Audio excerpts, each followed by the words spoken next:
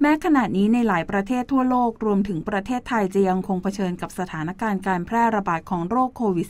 -19 แต่หลายประเทศก็ได้ทยอยฉีดวัคซีนให้กับประชากรของตัวเองมากน้อยแตกต่างกัน เพื่อมุ่งหวังให้กลับมาใช้ชีวิตได้ปกติโดยเร็วที่สุด ตลอดจนการเดินทางติดต่อระหว่างกันที่หลายประเทศ ค่อยๆ ผ่อนคลายมาตรการมากขึ้น โดยข้อมูลจากกระทรวงการต่างประเทศระบุว่า ตั้งแต่วันที่ 1 กรกฎาคมนี้ ประเทศเกาหลีใต้หนึ่งในประเทศที่คนไทยนิยมเดินทางไปลำดับต้นๆ จะเริ่มอนุญาตให้บุคคลที่ได้รับการฉีดวัคซีนโควิด -19 ครบถ้วนแล้ว เป็นเวลาอย่างน้อย 2 สัปดาห์ก่อนการเดินทาง เข้าเกาหลีใต้ สามารถเดินทางเข้าเกาหลีใต้ได้ โดยไม่ต้องกักตัว 2 สัปดาห์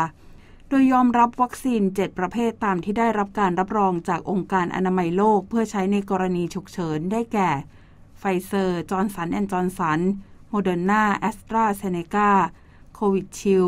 ซิโนฟาร์ม และซิโนแวคโดยผู้เดินทางจะต้องมีวัตถุประสงค์ในการเดินทางเข้าเกาหลีใต้ เพื่อเยี่ยมครอบครัว ญาติใกล้ชิดดำเนินธุรกิจ การศึกษาราชการเพื่อสาธารณประโยชน์ หรือเหตุผลทางมนุษยธรรม โดยจะต้องขออนุญาตรับการยกเว้นการกักตัว จากสถานเอกอัครราชทูตเกาหลีใต้ในประเทศต้นทางล่วงหน้า แต่การยกเว้นการกักตัว จะไม่รวมถึงผู้ที่เดินทางจากกลุ่มประเทศที่พบเชื้อโรคโควิดกลายพันธุ์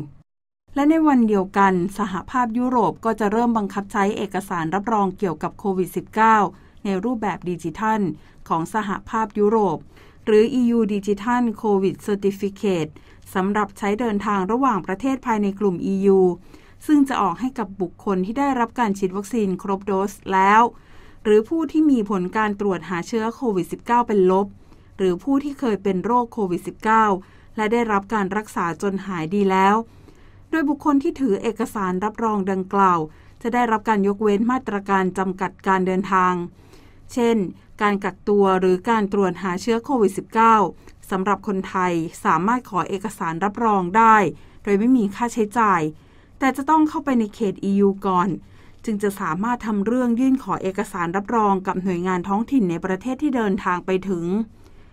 ส่วนอีก 3 ประเทศที่เป็นเป้าหมายการเดินทางที่สำคัญของไทย เช่นกัน คือ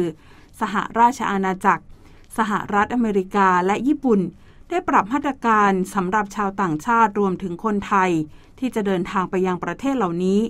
โดยจะต้องมีผลตรวจโควิดที่เป็นลบ อายุไม่เกิน 3 วันก่อนออกเดินทาง โดยยังไม่ได้กำหนดว่าจะต้องฉีดวัคซีนโควิด -19 ก่อนเดินทางเข้าประเทศ แต่จะมีรายละเอียดเพิ่มเติมในบางประเทศ นี่ก็เป็นเพียงมาตรการส่วนหนึ่งที่หลาย ๆ ประเทศเริ่มผ่อนคลายมากขึ้น หลังมีการทยอยฉีดวัคซีนภายในประเทศกันไปแล้ว ในส่วนของไทย ระหว่างที่ยังไม่มีการเปิดประเทศอย่างเป็นทางการ ก็ยังคงต้องคงมาตรการควบคุมการเข้าออกอย่างเข้มงวดเช่นเดิม จุธามารักษาพันธ์เรียบเรียงกัลยาคงยั่งยืนรายงาน